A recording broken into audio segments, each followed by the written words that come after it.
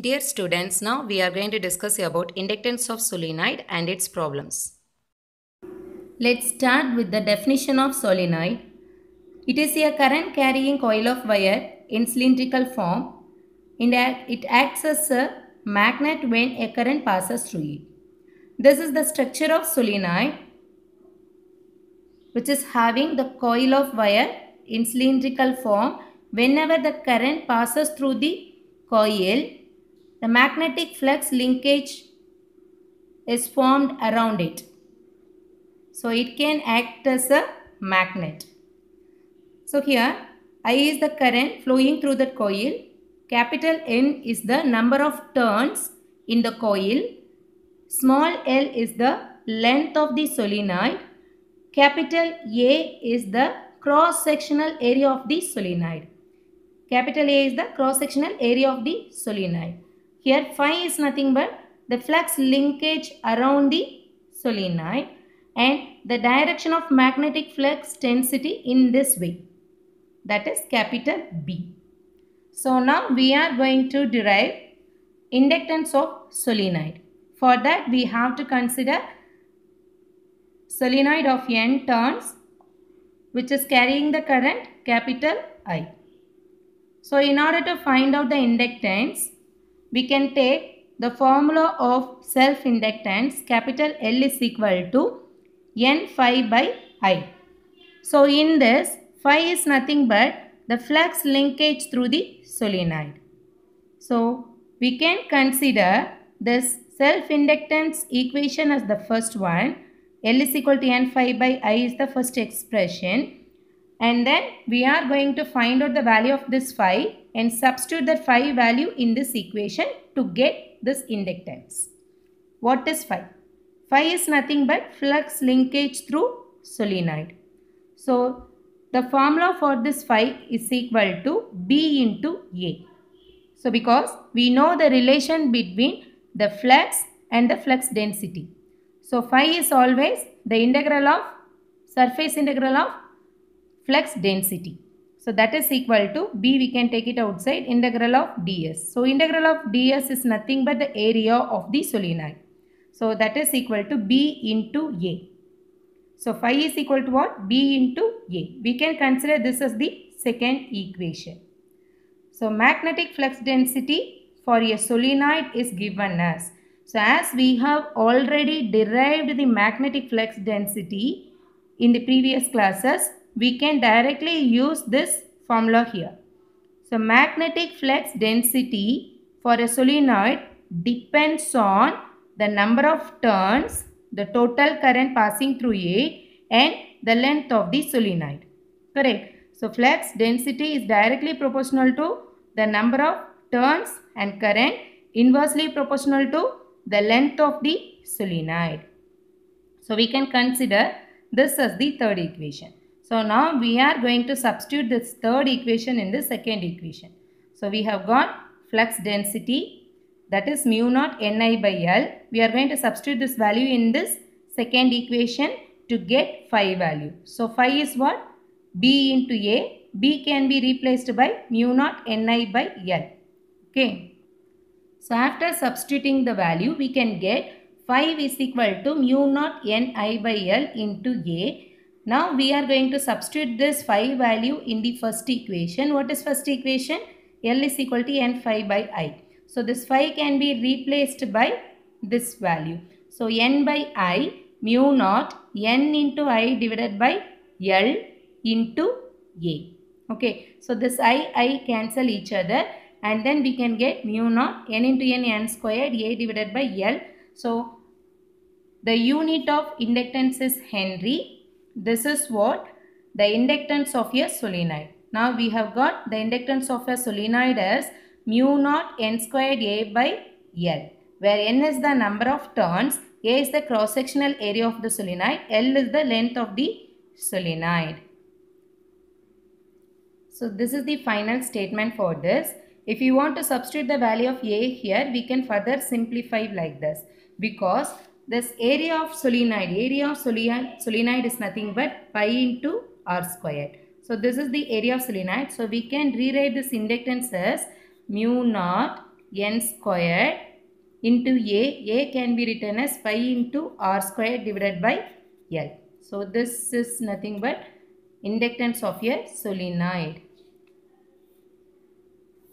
Pi into R squared where this R is nothing but the radius of the coil. Okay, so the radius of the coil N is the number of turns, L is the length of the solenoid. By using this formula, we can solve some problems. For example, so consider this problem. Evaluate the inductance of a solenoid of 2500 turns wound uniformly over a length of 0.5 meter on a cylindrical paper tube 4 centimeter in diameter. The medium is air. Evaluate. What's the question? The question is evaluate the inductance of a solenoid. We are going to find out the inductance of a solenoid. So how are we going to solve this problem? The solution for this problem, let's start with the given data. What are the given data? So from this problem. So here 2500 turns. So number of turns n is equal to 2500. Okay. So next what is given? Uniformly over a length of 0.5 meter. So what is given? Length of, the length of the solenoid is 0.5 meter. What else given? On a cylindrical paper tube 4 centimeter in diameter. So diameter is given that is 4 centimeter. So they have given in a centimeter. So we have to convert into the meter it is the standard value okay? So the d is nothing but the diameter of the cylinder okay? So here we need what? That r. That is radius is nothing but diameter by 2 so we can write so 4 divided by 2 into 10 to the power of minus 2 so radius r is equal to 2 into 10 to the power of minus 2 meter okay? So these values are given. So what's the question and one more thing, the medium is here. Medium is here means what? That mu r value is 1 here. Correct. So we can keep it, the medium is here. So evaluate the inductance of a solenoid. What is the formula? First we have to write down the given data. Then what we are going to find out? The inductance of the solenoid. So what is that formula? That is mu naught into n squared a by L. This a can be written as area of the solenoid. So mu naught n squared. This is nothing but pi r squared divided by L. Okay. So now we can substitute these values as such. Mu naught value is, mu naught is a constant. Mu naught value is what? 4 pi into 10 to the power of minus 7. This is what the mu naught value. 4 pi into 10 to the power of minus 7 n squared. n is, the given value is what? 2500. So 2500 squared into pi into 10 to the power minus 2 into 10 to the power of minus 2 the whole square divided by L. L is what? 0.5 meter. Okay, so mu naught value is 4 pi into 10 to the power of minus 7 n value is 2500 squared into pi into r squared. r value is what? 2 into 10 to the power of minus 2 the whole square. Okay, divided by 0.5 into meter. So we can mention this or no need. So after calculating this value, so we I can rewrite this. Okay, this is mu naught value. This is n squared value, and we can have the pi r squared. r squared is nothing but 2 into 10 to the power of minus 2 the whole square divided by 0.5. After calculating, we can get the answer as 19.7386 into 10 to the power of minus 3. Okay, minus 3 Henry. So this is the inductance of the solenoid. We can rewrite this as 19.74 millihenry. This is the inductance of the solenoid. So it's this type of problems can be solved by using the inductance of the solenoid. Okay, so we can apply the formula over here to get the inductance value of the solenoid. We can solve one more problem in a solenoid that is this is another one problem. Find the energy stored in the solenoid having 50 centimeter long and 5 centimeter in diameter and is wound with 2000 turns of wire carrying a current of 10 amps. So here the given values, okay, what are the given values? 50 centimeter long, that is length and diameter is given turns. What is the question? So first what we are going to write down? We are going to write down the given data. So what all are the given data? Number of turns 2000. Okay. The length is equal to 50 centimeter. This 50 centimeter can be written in terms of meter that is 0.5 meter. 50 centimeter is equal to 0.5 centimeter and then the diameter is equal to 5 centimeter. Actually what we need? Radius. So radius is equal to d by 2. So we can say 2.5. So d is 5. So 5 by 2 is 2.5 in 10 to the power of minus 2 meter. So here r is equal to what? 2.5 in 10 to the power of minus 2 meter. Fine. So n we know, L is there, R is also there. What is the question? Find the energy stored in the solenoid. Okay. So solenoid that means what? Solenoid means it is a inductor. So by default we know that it is a coil. Coil is nothing but inductor. So energy stored in an inductor. What is the formula? Energy stored in a inductor.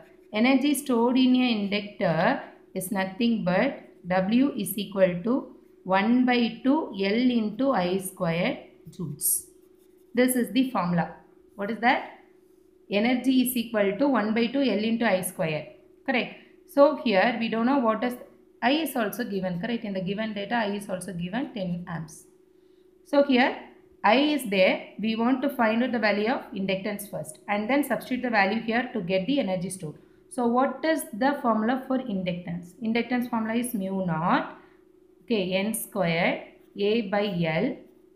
So here we can write mu naught n squared a is nothing but pi r squared divided by L. So here we know all the values substitute those values here we can get. So mu naught value is what 4 pi in 10 to the power minus 7 n squared n is what 2000 correct n is what given data 2000 squared pi into r value is what 2.5 in 10 to the power of minus 2 the whole square. Correct? 2.5 into minus 2 the r is there right? The whole square divided by what's the value of L here? It is 0.5. So after calculating all those, after solving this expression, we can get the value So after calculating all those stuff, we can get the value 0 0.01974 Henry. This is what L, that is inductance. Okay, 0 0.01974 Henry. So next, we are going to substitute this L value here to get the energy stored. So the total energy stored is equal to 1 by 2. L value is what? 0.019 74 into what is the value of uh, I? I is given that is I is given that is 10 amps right. So we are going to substitute the 10 amps here. So 10 the whole square. So we will get the answer as 0.987 joules. This is the energy stored in a solenoid.